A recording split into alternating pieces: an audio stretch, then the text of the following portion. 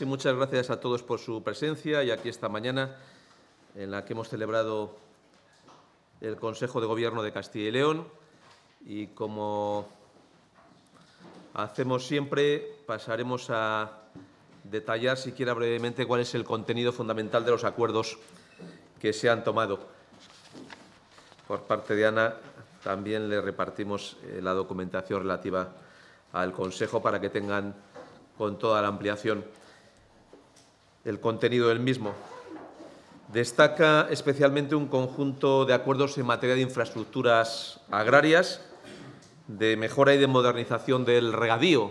Esto significa que estamos invirtiendo en regadío, incluso cuando un año climatológico ha sido favorable en términos de pluviometría, como ha sido el presente, porque nuestras inversiones en materia de infraestructura son inversiones pensando en el medio y largo plazo. Sabemos que es un problema que va a seguir en el futuro con nosotros, el de la sequía, y también somos muy conscientes de que aquellas hectáreas que se ponen en regadío tienen más rentabilidad y fijan más la población y vamos a seguir invirtiendo en esta materia. En concreto, las actuaciones de esta mañana en el Consejo de Gobierno afectan a más de 10.000 hectáreas en las provincias de León y Salamanca, con una inversión que supera los 30 millones de euros. Por tanto, 30 millones de euros de inversión en regadío para más de 10.000 hectáreas. Entrando al detalle del contenido de los mismos, 14,7 millones se dirigen a las obras de modernización del regadío en la comunidad de la margen izquierda del Porma, en León. Son fondos cofinanciados por el FEADER y va a beneficiar a 1.683 propietarios en una superficie de más de 4.700 hectáreas. Incluye la toma de agua, las balsas de almacenamiento y la electrificación de los sectores, la impulsión y el riego de los mismos en los términos municipales de Cordobillo de los Oteros, Mansilla de las Mulas y Santas Martas, todos ellos en León. Un segundo bloque de 12,8 millones de euros para la modernización del regadío en la comunidad del Canal Bajo del Bierzo, también en León. También fondos FEADER va a beneficiar a 6.884 propietarios con una superficie total de más de 4.000 hectáreas. Incluye la instalación de una tubería de abastecimiento que va a sustituir la infraestructura actual del riego. Afecta a los municipios de Camponaraya, Carracedelo y Ponferrada, todos ellos en León. Eh, con esta actuación se avanza en el compromiso que tenemos para esta legislatura de modernizar 30.000 hectáreas de regadío en toda la comunidad a día de hoy se han iniciado ya proyectos por un importe de 21.746 hectáreas, lo que nos ha permitido cumplir ya a día de hoy el 62% del objetivo que teníamos para toda la legislatura. De 30.000 hectáreas que teníamos como objetivo de regadío en esta legislatura, se han iniciado e impulsado ya más de 21.740. Y, por último, 2,7 millones de euros para la instalación de dos plantas fotovoltaicas de autoconsumo en la comunidad de regantes Las Vegas de Almar, en Salamanca. Eh, abarca una superficie de más de 1.900 hectáreas en los términos municipales de García Hernández, Peñarandilla, Alconada, Coca de Alba y Ventosa del Río Almar. El presupuesto de la actuación está financiado al 50% por fondos FEADER y el resto por la comunidad de regantes. Son 400 propietarios y, como les digo, más de 1.900 hectáreas. Este es el primer bloque, que es un bloque destinado a la modernización del regadío, más de 30 millones de euros de inversión, más de 10.000 hectáreas. Se apoya económicamente la labor de las organizaciones sindicales con representación en la Administración de la Comunidad. Para esta finalidad y sus gastos de funcionamiento se destinan 1.085.000 euros. Son beneficiarios los sindicatos y secciones sindicales con mayor nivel de implantación en el ámbito de la Administración de la comunidad. Por tanto, son sindicatos con representación en la Administración de la comunidad y, por tanto, representantes de los empleados públicos. La distribución de las cuantías para cada una de las organizaciones sindicales es la que tienen ustedes en la documentación, donde se tienen en cuenta sobre todo los resultados electorales de las últimas elecciones en el ámbito de la propia Administración de la comunidad autónoma. Se impulsan los convenios de prácticas para estudiantes de la Universidad de Valladolid con programas en empresas, en este caso Renault y Horse. Es una ayuda de 530.000 euros para financiar estos programas. Son programas en prácticas laborales dirigidas a titulados que se convierten en un pilar de acceso al mundo laboral para los jóvenes menores de 35 años. Tienen una experiencia muy importante de personas cualificadas, bien sean universitarios y no universitarios de formación profesional para el campo del empleo. Muchos de ellos van a trabajar en las empresas para las que van a prestar este servicio, que son Renault y Horse, y a su vez pues eh, el resto que no sean finalmente contratados por estas empresas, seguramente con esta experiencia profesional que van a tener, pues tengan fácil acceso al mercado de trabajo, fundamentalmente porque hablamos de formaciones muy demandadas por el mundo del empleo en nuestra comunidad. Eh, tienen ustedes el detalle de lo que corresponde a cada una de las dos empresas, a Renault España y a Horse. Eh, Horse, recordarán ustedes que es la básicamente todo lo que es la fábrica de motores de Renault, que es la más importante que en este momento Horst tiene a nivel mundial, la que está ubicada en nuestra comunidad autónoma.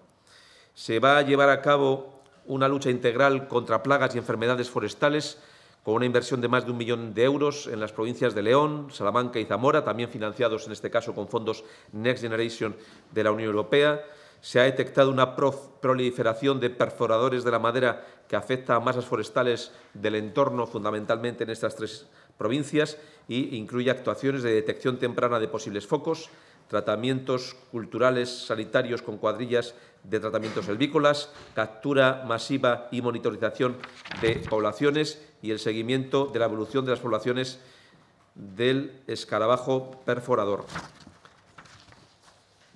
Se subvenciona el mantenimiento de las depuradoras de Galende, Cobreros y Porto en Zamora, con una inversión de casi medio millón de euros. El objetivo es financiar hasta el 50% de los gastos asociados al mantenimiento de la eh, explotación de estas depuradoras, que son las depuradoras de Riva del Lago mm, eh, Nuevo, Riva del Lago Viejo, el camping de Galende, las playas de Vigo, el puente y Porto, cuyos beneficios afectan todos ellos al Parque Natural del Lago de Sanabria y Sierra Segundera y de Porto. Por tanto, se trata de la depuración de las aguas del lago de Sanabria y lo que estamos haciendo ya no solamente es contribuir a las inversiones de depuración, sino al mantenimiento de los costes asociados al mismo, cuyo 50% financiará la Junta de Castilla y León y el resto, lógicamente, pues los propios, eh, las propias entidades locales, también con la eh, aportación por el pago en el consumo que realizan los eh, propios consumidores. 1,5 millones de euros para el servicio de vigilancia en diversos centros dependientes en el ámbito sanitario de El Bierzo.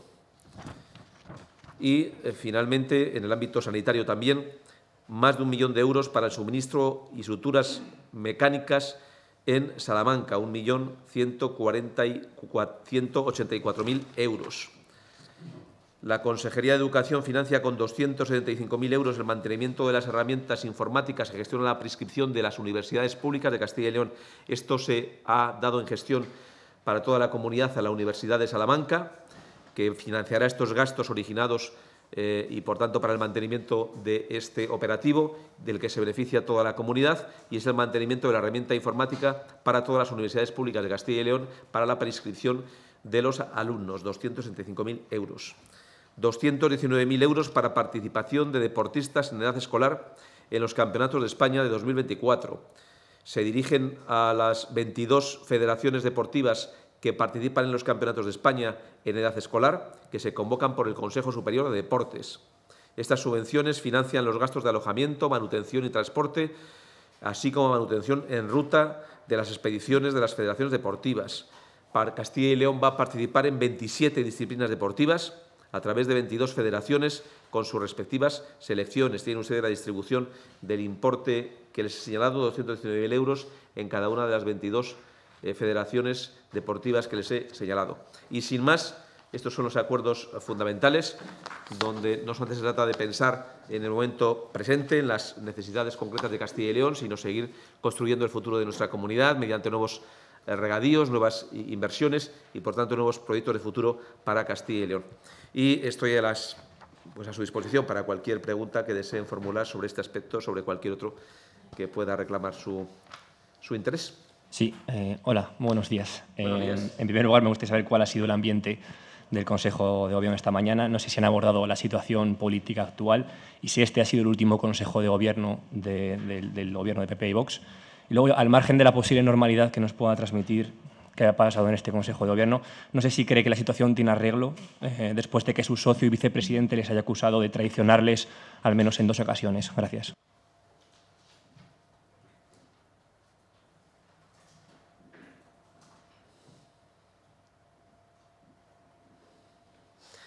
Pues eh, plantea básicamente dos cuestiones. En primer lugar, cuál ha sido el ambiente. El ambiente ha sido de trabajo. Hemos repasado eh, los temas eh, que figuran en el orden del día y otra serie de cuestiones de actualidad. Naturalmente, yo estoy sometido a lo que es el secreto de las deliberaciones, pero sí le puedo señalar que ha habido un ambiente claro de trabajo, de normalidad. Han asistido todos los consejeros del Gobierno autonómico, a excepción de la consejera de Familia de Igualdad de Oportunidades, que, como saben, ayer hasta última hora pues, tuvo una importante reunión en Canarias y no ha podido llegar a tiempo desde la comunidad autónoma de Canarias a Castilla y León para incorporarse al Consejo de Gobierno, pero sí ha estado en vía eh, telemática. Eh, es un ambiente, lógicamente, del sentimiento que tenemos, que es un Gobierno que es útil para las personas de Castilla y León, que, trabajo, que trabajamos todos los días en interés de los ciudadanos de esta tierra, que creo que estamos teniendo buenos resultados al servicio de esta comunidad autónoma y es un Gobierno, en definitiva, que creemos que es bien valorado por el conjunto de los ciudadanos de Castilla y León. Plantea una segunda cuestión, si eh, tiene remedio o si pudiera ser este el último consejo de la actual composición, pues no depende de nosotros, como ustedes saben, y por tanto lo que no depende de nosotros, pues es difícil hacer una valoración de lo que finalmente pueda ocurrir, que como saben ustedes hay una reunión esta tarde que tomará alguna decisión al respecto, pero no es en Castilla y León ni depende de lo que podamos hacer en Castilla y León. Sí, dice que no depende de ustedes, pero la, pregunta que le realizaba a mi compañero es si ustedes pueden mantener un pacto de gobierno con alguien que les ha llamado traidores. Pues mire, el Gobierno funciona bien y el Gobierno funciona útil a los ciudadanos. A nosotros nos gustaría que el Gobierno siguiera funcionando, siguiera trabajando. Es un Gobierno que, como saben ustedes, ha conseguido importantes cosas para Castilla y León y es un Gobierno que garantiza estabilidad para la gente de esta tierra. En lo que depende de nosotros, es un Gobierno que nos gustaría que siguiera existiendo para el futuro y, eh, lógicamente, en lo que ha dependido o dependa de nosotros, así va a ser. Pero la decisión última esta tarde no va a depender de lo que planteemos exclusivamente desde Castilla y León, como ustedes conocen. Sí, se ha abordado el tema eh, en la reunión del Consejo de Gobierno y me gustaría saber si se sienten cómodos con compañeros de gobierno que tienen un planteamiento muy concreto sobre un tema muy concreto que choca con el planteamiento que asume o defiende el Partido Popular. Bueno, somos muy conscientes, lo hemos dicho siempre, que aquí hay dos partidos distintos en el mismo gobierno, pero tenemos un único pacto de gobierno, un pacto que es público, que es transparente y que hemos cumplido y que queremos seguir cumpliendo para el futuro. Ese sería nuestro deseo. Aquí estamos al servicio de la gente de Castilla y León y creo que estamos dando un buen servicio para los ciudadanos de Castilla y León un servicio de utilidad, un servicio de estabilidad, un servicio para favorecer aquello que la gente nos está demandando y ese es el trabajo que hemos venido realizando. No se trata de cómo nos sentimos cada uno, que cada uno estamos dando lo mejor de nosotros mismos, se trata de que estamos siendo útiles al servicio de Castilla y León. ¿Ha salido este asunto en la reunión del Consejo de Gobierno? El asunto de la reunión ayer de la conferencia eh, de política de infancia. Sí, y un poco la posición que ha marcado Vox en ese sentido de romper los pactos autonómicos. Bueno, la posición que ha mantenido el Gobierno de Castilla y León en esa reunión de la conferencia sectorial es la posición que eh, yo ya anuncié la semana pasada. Y es una posición, primero, tomada en Castilla y León y desde Castilla y León nadie la ha tomado en nombre del Gobierno de Castilla y León desde fuera de Castilla y León. Es una posición que, por otra parte, es coherente con lo que venimos defendiendo y acordando el año 21, el año 22, el año 23. También es la misma posición de este año 24. Es la posición que, por otra parte, acordamos ayer todas las comunidades autónomas, a excepción de una, que fue Cataluña, y es la misma posición que yo les anuncié ayer la semana pasada, que es una posición que se basa básicamente en la solidaridad con las comunidades autónomas entre sí. No hay mejor contribución a el proyecto de España que la solidaridad entre las comunidades autónomas y se basa también en el objetivo del punto 32 del acuerdo, que es una inmigración ordenada, una inmigración que favorezca la integración cultural, social y laboral. Y también una forma muy útil de esta integración social, laboral y familiar es que la tutela recaiga en favor de la Junta de Castilla y León de estos menores para que, lógicamente, seamos capaces de asegurar esta integración. Sí, respetando la confidencialidad de las deliberaciones del Consejo de Gobierno, yo le preguntaba si el tema de la crisis, eh, la nueva situación que se plantea de romper los gobiernos autonómicos por parte de Vox, se ha planteado en algún momento de la reunión. Mire, yo creo que eh, si dependiera de las personas que formamos parte del Gobierno de Castilla y León, todas tendremos el deseo de que el Gobierno de Castilla y León siga funcionando y siga desarrollando su tarea y, por tanto, sí que hay una posición favorable por parte de todos al deseo de que ojalá este Gobierno siga en sus funciones, en sus compromisos, en su programa. Muy recientemente, el presidente de la Junta de Castilla, en el debate del Estado de la Comunidad, planteó cuáles eran los horizontes de trabajo para los próximos meses, que todos compartimos y a nosotros nos gustaría, a todos, creo yo, que esto pudiera continuar. Pero es verdad que seguramente el debate que se produzca no sea un debate exclusivo pensando solo en una comunidad autónoma y tampoco sea un debate en el que la contribución desde el Gobierno de Castilla y León pueda ser determinante. Aún así, Abascal ha señalado directamente a Fijó de romper esos, esos pactos de gobierno. ¿Qué hay de verdad en eso de que Fijó ha, ha llamado a los varones para que tomen esa postura? Mira, le decía yo antes que la posición que tenemos desde el Gobierno de León es la misma que mantuvimos en el año 21, 22 y 23 sobre este asunto cuando fuimos a las conferencias sectoriales. En el año 21 el señor Feijó era presidente de la Junta de Galicia y, por tanto, en ningún caso puedo haber opinado sobre lo que hicimos desde Castilla y León. Es la misma posición que hemos mantenido todas las comunidades autónomas, con la única excepción de Cataluña. Y es la misma posición que yo les comenté la pasada semana, exactamente la misma que les anticipé. Por tanto, es una posición tomada por Castilla y León, desde Castilla y León, pensando en los intereses de Castilla y León. Dice que la posición de todo el Gobierno es que ojalá siga funcionando. ¿Habla de todo el Gobierno, tanto de la parte del PP como de Vox, después de las declaraciones ayer de García Gallardo, eh, en las que, insisto, llamó traidores a la parte del PP por el incumplimiento de al menos dos acuerdos?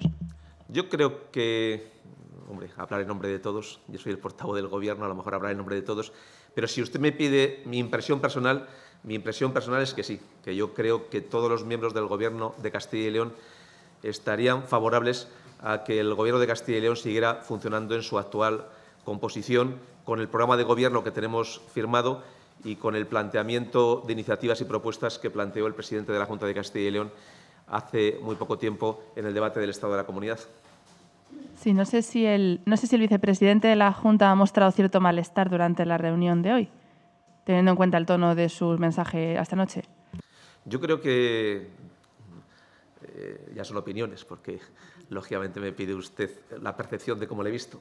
Yo, si usted me pide opinión, y seguramente quien mejor puede dar la opinión sobre sus propios sentimientos es él mismo, eh, yo creo que si de él dependiera, eh, y si dependiera de todos los miembros del Gobierno de Castilla y León, creo sinceramente que a todos nos gustaría dar continuidad a la actual composición del Gobierno y nos gustaría seguir trabajando por este proyecto, que es el proyecto que estamos conformando el Gobierno de Castilla y León y es la impresión que yo tengo, pero en todo caso, eh, eh, sobre aspectos personales, puedo opinar más sobre mis propios sentimientos que seguramente sobre los sentimientos individuales de cada uno, que lógicamente cada uno tiene derecho a expresarlo.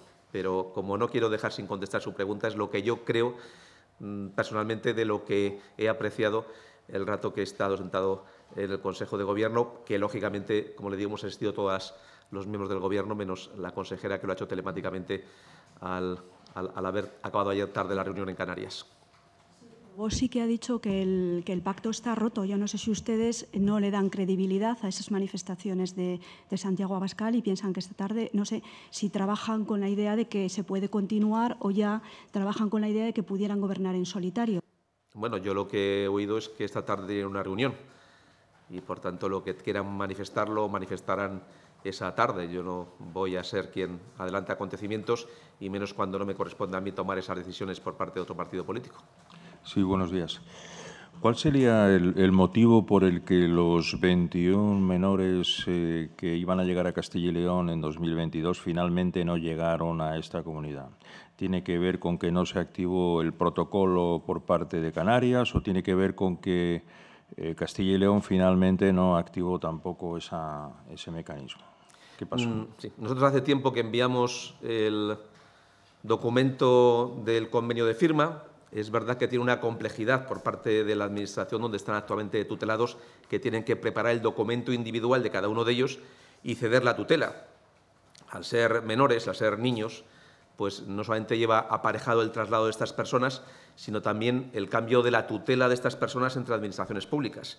No se trata solo de firmar el convenio de colaboración que nosotros hace tiempo que hemos remitido, sino que esta firma del convenio, cuando se haga desde Canarias, tiene que llevar aparejado todos los expedientes de cada uno de estos menores, de cada uno de estos niños y niñas y la cesión de tutela. Yo sé que están trabajando en esta dirección, también sé que, lógicamente, los servicios allí pues, tienen un exceso de trabajo, eh, por muchas circunstancias que ustedes conocen y seguramente pues, los plazos no son tan ágiles como quizá a todos nos gustaría, pero nuestra vocación y nuestra disposición sigue estando plenamente operativa y yo seguro que podríamos anunciar que en los próximos días llegarán estos niños y niñas a Castilla y León. De acuerdo. Y quería preguntarle también por eh, otro, otro asunto, la huelga que anuncia la Confederación del Trabajo para el transporte sanitario. ¿Nos podría concretar qué servicios mínimos se van a implantar en, este, en esta huelga que se anuncia? Lo que estamos planteando nosotros es servicios mínimos, sobre todo en el ámbito de las emergencias sanitarias y en el ámbito de alguna actividad programada, fundamentalmente lo que tenga que ver con diálisis y enfermos oncológicos.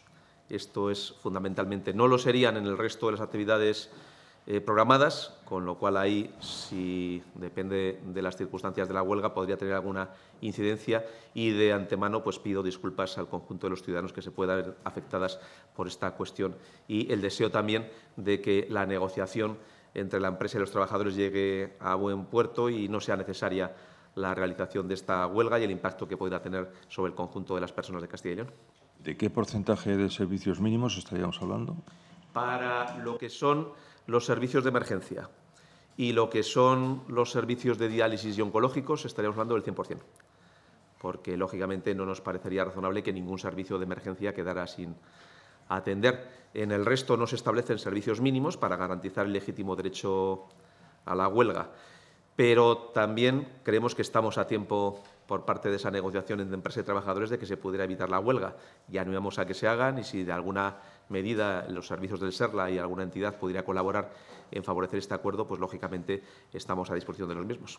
Quería preguntarle también sobre las bolsas de empleo en sanidad que ayer denunciaba UGT, que están paralizadas desde hace algunos años, que no se actualizan, los, celadores, los enfermeros y enfermeras.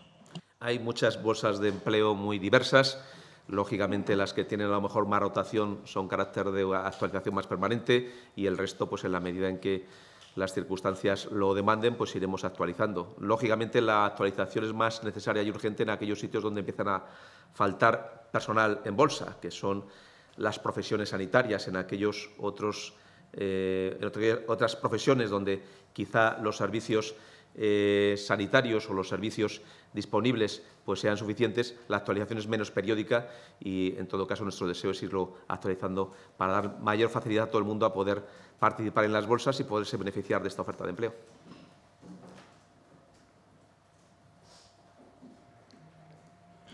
Hola, buenos días. El lunes es la reunión, están, están citados la reunión del Consejo de Política Fiscal y Financiera. No sé qué postura va a llevar Castilla y León si creen que toda esta polémica con, los pactos puede un poco enturbiar la reunión y, el mensaje. Gracias.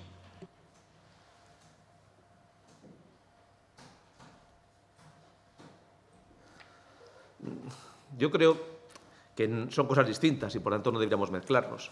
Una cosa es la reunión de la conferencia sectorial, donde, vuelvo a insistir, eh, todas las comunidades autónomas venimos manteniendo la misma posición desde el año 21, a excepción de Cataluña, que ayer, lógicamente, tuvo una posición distinta. Todas las comunidades autónomas del año 21 y 22 y 23 tuvimos esta posición y Cataluña hoy ha tenido otra distinta. Y otra circunstancia distinta es el Consejo de Política Fiscal y Financiera, donde ahí saben ustedes que las posiciones generalmente de las comunidades son más cercanas a los intereses propios de cada una de las, de las comunidades. ¿no? Eh, nosotros enviamos una gran mayoría de comunidades autónomas una petición para que se incluyera un punto en el orden del día, que era la información de los planes del Gobierno en torno al modelo de financiación autonómica y, por tanto, a abordar la financiación autonómica y el nuevo modelo de financiación autonómica. Esto es un poco lo que, hemos conseguido incluir en el orden del día. Vamos a ver en qué medida se hace, porque lógicamente fuimos 14 comunidades y ciudades autónomas las que conseguimos la inclusión de este punto. El Gobierno lo que planteaba es incluir, que es lógico en el mes de julio, pues, eh, la información sobre las entregas a cuenta y sobre el déficit y su distribución entre las comunidades autónomas.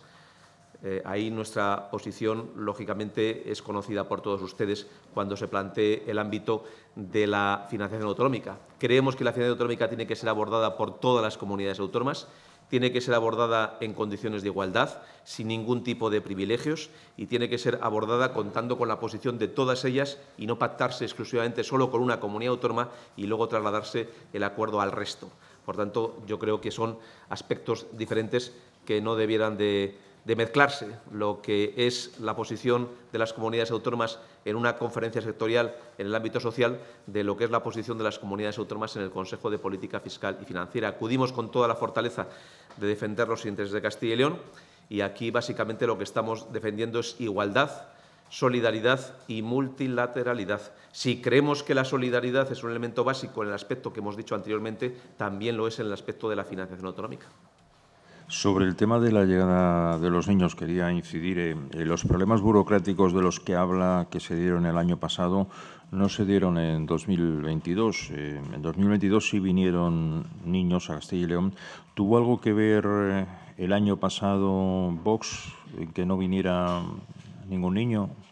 Nosotros, como les digo, hace tiempo que ya hemos enviado ese convenio a la Comunidad de Canarias y es verdad que la circunstancia en la comunidad de Canarias se ha venido complicando de forma extraordinaria. Hay que entender pues, el exceso de trabajo que puedan tener y que esto exige un expediente individual para cada uno de los niños y niñas que es un expediente para el cambio de tutela de una administración a otra, que es algo no sencillo, y no solamente es entre Canarias y Castilla y León, sino entre Canarias y el resto de comunidades autónomas también que requieren un expediente individual para cada una de estos niños y niños y niñas. Esta es la idea, por tanto, que eh, creemos que se va a resolver en los próximos días, que la Comunidad de Canarias nos puede enviar todos sus expedientes y nos puede ya por fin remitir a estas personas que estaremos encantadas de que estén con nosotros posición que mantuvo ayer la consejera de Familia em, en la conferencia sectorial considera que se ajusta a lo que dijo García Gallardo, porque él habló de que no se aprobara la ley de extranjería, de la reforma de la ley de extranjería. Eh, los consejeros del PP han dejado ese punto y en el otro plano de los, menores que vienen son menores que, ya eso estaba acordado. ¿Cree que se ajusta a lo que ha dicho el vicepresidente o se sale de, de esto y sería motivo de ruptura del acuerdo? Se ajusta plenamente al acuerdo que hemos firmado. Como he dicho en alguna ocasión, lo que se ha firmado en el caso de Castilla y León tiene correlación con dos puntos básicos del acuerdo, el punto segundo y el 32. El punto segundo es el que habla de solidaridad entre todas las comunidades autónomas y un elemento básico de la solidaridad entre las comunidades autónomas puede ser este ejemplo. No hay mejor compromiso a favor de lo que nos une, a favor de España, que la solidaridad entre las comunidades autónomas que queremos seguir ejerciendo. Y el segundo es el que tiene que ver con favorecer una inmigración ordenada que a su vez garantice la integración social, laboral y cultural. Y creo que en el acuerdo de ayer se cumplen básicamente los dos aspectos. Como usted bien dice, no se tomó una decisión por parte de la conferencia sectorial en torno a esta iniciativa de cambio de ley, porque no le corresponde a la conferencia sectorial los cambios de leyes, sino que le corresponde al Congreso de los Diputados. Tendrá que ser el Congreso de los Diputados quien decida a este respecto. Lo que sí que decidió es, y usted lo ha señalado muy bien, cumplir los acuerdos que venimos aplicando todas las comunidades autónomas desde el año 21, 22 y 23. Por tanto, todas las comunidades autónomas de España venimos aplicando estos acuerdos del año 21, 22 y 23. El día de ayer también todas las comunidades autónomas, a excepción de Cataluña, nos sumamos también a ese acuerdo. Creemos que es un acuerdo que además es coherente y consistente con el pacto de gobierno que tenemos firmado en Castilla y León y a su vez es coherente y consistente con lo que eh, yo les anuncié la pasada semana, incluso el número de personas que nos corresponderían para este ejercicio. Sí, insistiendo en esa situación del Gobierno, no sé si ya sobre la mesa tienen algún plan B en caso de que haya ciertas sustituciones eh, en el corto plazo. Y luego también quería saber eh, si estarían dispuestos a esa mano tendida que les ofrece el Partido Socialista a un Gobierno en minoría con acuerdos puntuales. Nuestro mejor plan a día de hoy es un Gobierno como el que tenemos, que es un Gobierno útil y eficaz, que garantiza la estabilidad en Castilla y León que es capaz de cumplir sus compromisos y que tiene una hoja de ruta muy clara, que es el pacto de gobierno y que es la reciente sesión del presidente de, Castilla y León con el programa de, eh, de, trabajo en torno al debate del Estado de la Comunidad. Hubo bastantes propuestas de resolución que ahí se aprobaron y creemos que tenemos una buena línea de trabajo. Eso es lo que nos gustaría y, por tanto, nuestro principal plan de trabajo a día de hoy y en lo que podamos y dependa de nosotros, eso es lo que queremos y nos gustaría que siga existiendo. Entonces, ¿les gustaría seguir trabajando de la mano de alguien que les acusa de ser unos traidores? Pues mire, nos gustaría que el Gobierno de Castilla y León siguiera funcionando tal y como está hoy. Es un Gobierno que es útil y eficaz, es un Gobierno que da resultados, es un Gobierno que ofrece estabilidad y por nosotros no va a quedar el intento para que el Gobierno de Castilla y León siga ofreciendo lo que venimos ofreciendo a esta tierra, que por otra parte creemos que es lo que la gente de esta tierra nos demanda a los que estamos en el Gobierno de Castilla y León.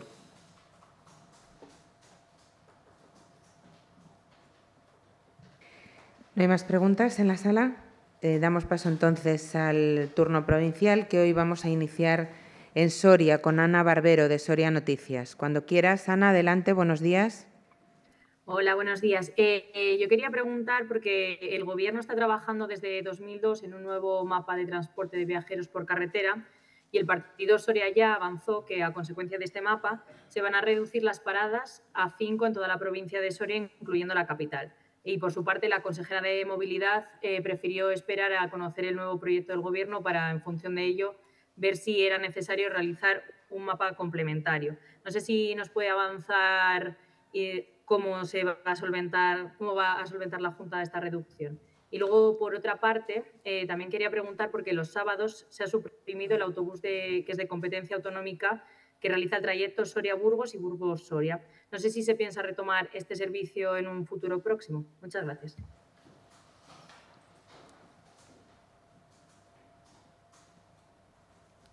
Pues el tema de la posible retirada por parte del Gobierno de España de algunas paradas de autobús es algo que nos viene preocupando desde hace tiempo. Hemos pedido información sin éxito, hemos pedido que se nos asegure, se nos confirme que no se va a cerrar ninguna parada de autobús por parte del Gobierno en Castilla y León y esta es la posición que hemos tenido siempre, lo hemos defendido creo yo que con bastante firmeza. Es verdad que no hemos tenido al día de hoy la ocasión de que el ministro de Movilidad haya encontrado un hueco en su agenda para recibir al presidente de la Junta de Castilla y León, pero entre los asuntos que el presidente de la Junta le envió nada más tomar posesión estaba este, el asegurar, el garantizar que ninguna parada de autobuses dependiente del Gobierno en su decisión fuera cerrada en nuestra comunidad autónoma. Esto es lo que mantuvimos entonces y es lo que seguimos manteniendo al día de hoy.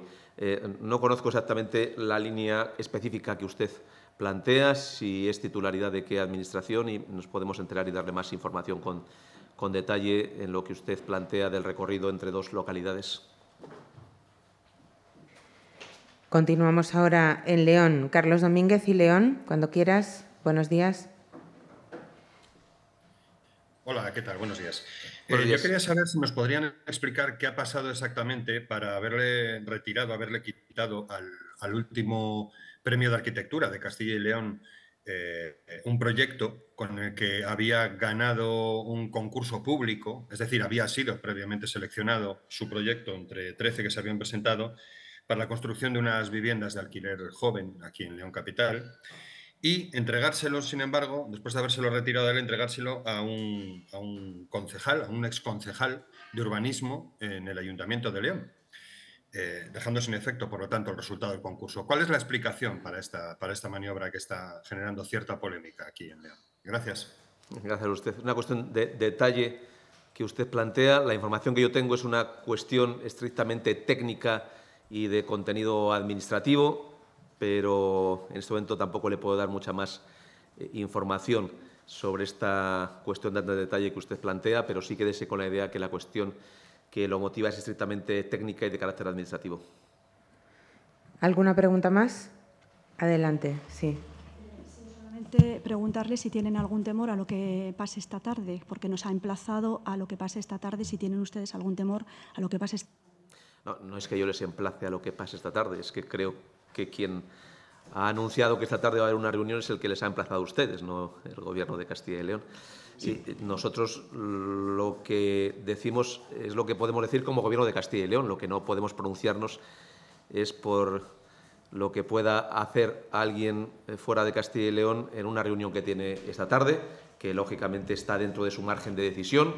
Los partidos políticos tienen, de acuerdo con la Constitución, capacidad de decisión conforme a sus propias circunstancias, condiciones o visiones de la realidad y, por tanto, cualquier valoración sobre lo que esta tarde se pudiera plantear la tendríamos que hacer después de que se anuncie lo que eh, esa reunión quiera anunciar, no antes, porque ni sabemos lo que puedan decidir ni estamos en condiciones de valorarlo en consecuencia. Sí, el vicepresidente ha explicado, en, ha señalado en Twitter que, por respeto a su partido, eh, dará a conocer su decisión después de la reunión que hay esta tarde. No sé si se ha convocado una reunión del vicepresidente y del presidente o cómo, si saben ustedes cómo lo va a comunicar o cuál va a ser la forma en la que ustedes se van a enterar de la decisión del vicepresidente.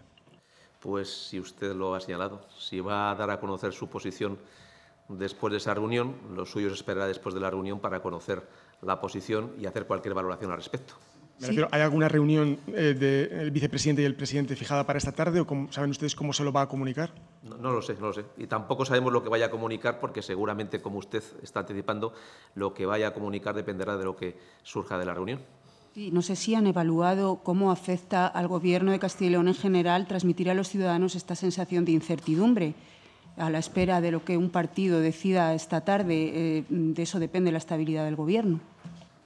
Bueno, yo le he comentado cuál es el deseo de las personas que estamos en el Gobierno de Castilla y León. Nosotros tenemos que seguir garantizando la estabilidad, pero lógicamente también tenemos que ser respetuosos dentro de la normativa con lo que cualquier organización política pueda decidir en el ámbito de sus competencias. ¿Cuál es, eh, cuál es su impresión, eh, le digo su impresión personal, de lo que puede pasar esta, esta tarde y si cree que la próxima semana, el jueves, en el Consejo de Gobierno seguirán las mismas personas sentadas?